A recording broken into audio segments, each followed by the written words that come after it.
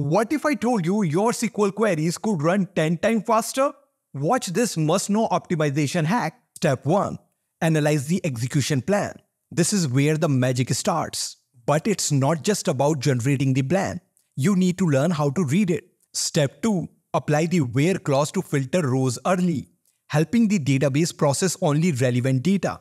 Step 3 Make sure you select only specific columns. The fewer columns you select, the more efficient the query. Step 4. Create indexes. Indexes can drastically reduce execution time. Step 5. After making changes, always check the execution plan again to see how much improvement has been made. Step 6. Finally, observe the cost reduction and explore other optimization strategies like partitioning your tables. This can significantly improve query performance, especially with large datasets. I have created a detailed video where I walk through this entire process with